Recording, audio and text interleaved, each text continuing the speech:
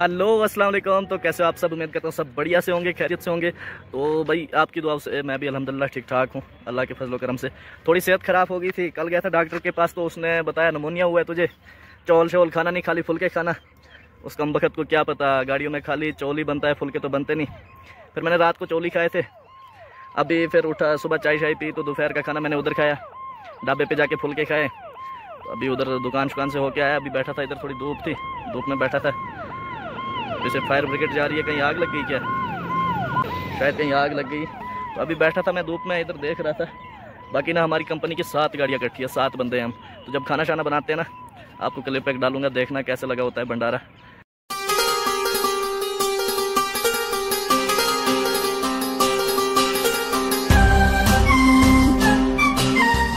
पीछे चढ़ाए हैं गाड़ी में बर्तन बर्तन सारे। गैस या दो तीन है, बर्तन सारे चौल शोल बनाते हैं, सब्ज़ी सब्ज़ी पीछे डाले में चढ़ के। तो मज़े से खाते पीते हैं। बाकी मैंने तो चौल खाने नहीं है, मैं फुलके ही खाऊँगा, क्योंकि नमोनिया हुआ है तो सेहत का भी ध्यान रखना ज़रूरी है। बाकी आप मेरी हालत देख के ही अंदाज़ा लगा सकते हो। तीन चार दिन हो गए, इधर तो मुँह शुद्ध होया नहीं है। ऐसे चलता है काम। तो कल रोज़ा भी है। अभी नहाना था कहीं, लेकिन इधर नामुमकिन है भाई, इधर ठंड बहुत ज़्यादा है। वैसे परसों जम्मू से नहा के आया हूँ। रात को धोएँगे, मुँह हो जाएँगे, फिर तरा भी पढ़ने, अगर मस्जिद में गर्म पानी हुआ तो नहा लेंगे। नहीं तो फिर क्या काम करेंगे हम? मोशो धोएँगे तरा भी पढ़ेंगे, फिर कल रखना है रोज़ा इन ताला। सेहत ख़राब हो या ठीक हो, रोज़ा तो रखना ही रखना है। तो बाकी देखते हैं, आगे जाके इधर क्रिकेट भी चल रहा था, अभी शायद बंद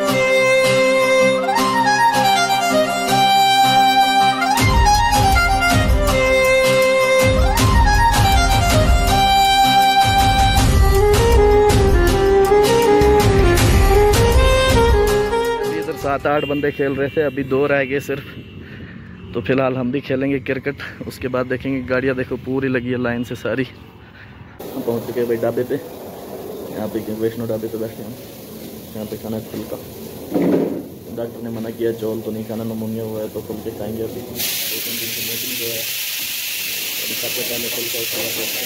यहाँ जब आर्मी की कानवाई चलती है ना तो कोई गाड़ी रोड पे नहीं चलती उस टाइम आर्मी आर्मी है यार, कुछ भी हो। ड्राइवरों को डंडे मारती है, इतना मतलब इधर खराब काम है, इतना आर्मी का, बाकी सब ओके है आर्मी। आर्मी मतलब मज़ेदार आर्मी है, पुलिस ट्रैफ़िक को छोड़ के इधर आर्मी को अगर सारे दिया जाए ना, सारे रोल तो आर्मी बेस्ट रहती है भाई श्रीनगर के लिए। बाकी जब ड्राइवरों को डंडे शंडे मारती है ना तो तब थोड़ा बुरा लगता है इंसान को कि ड्राइवरों पे नहीं करना चाहिए ऐसा। लेकिन ड्राइवर भी नहीं मानते यार, ड्राइवर भी सारे कौन से अच्छे हैं। ठीक है ना? बाय, देखो एक बार जाम। ये लाइन पूरी फुल है, आगे तक। ये नीचे काजीगुंड सिटी मतलब पुराना रोड है जो मतलब सिटी से होके जाता था। काजीगुंड मार्केट से। उधर भी पूरा जाम है। ये पूरा जाम है। इधर एक लाइन खुली है क्योंकि इधर आर्मी वाले डंडे मारते हैं। इसलिए नहीं तो ये भी भरी होती है अभी तक। बाकी एक नाका इधर से आगे, एक ये एक इधर से पीछे, एक उधर से पीछे। तीन चार नाके।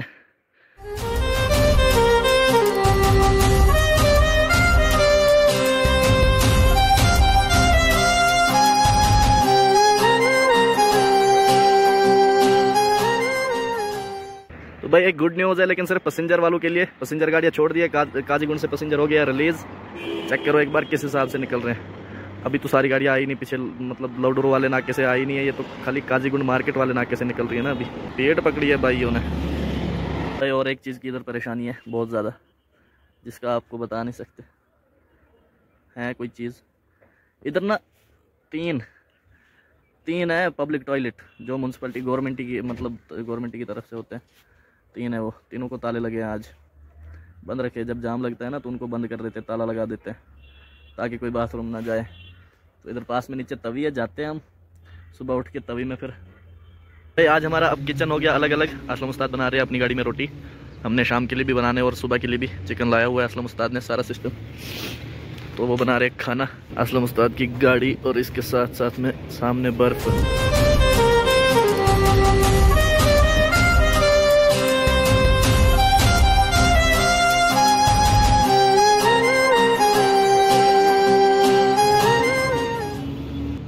भाई क्या सीन है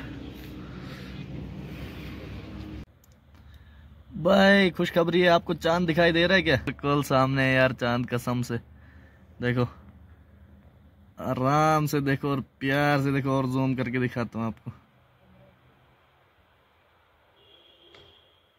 चेक करो भाई अपने फ़ोन से दिखा रहा हूँ चाँद आपको रमज़ान मुबारक सब भाइयों को और चाँद देखो भाई चाँद दिख गया।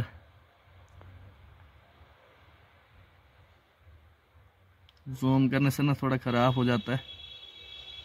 आप एक मिनट एक मिनट एक मिनट दिखेगा क्या? आ, ये देखो। ये चेक करो भाई रमज़ान का चाँद है। मुबारक मुबारक भाई मुबारक माशाल्लाह।